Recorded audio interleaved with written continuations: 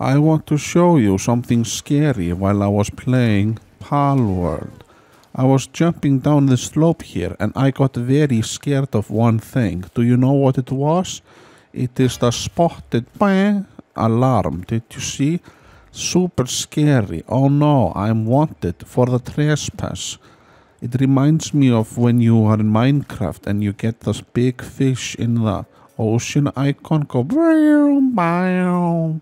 Look here, I'm just chilling and then and look at how I move the mouse. I move it like that because I got scared.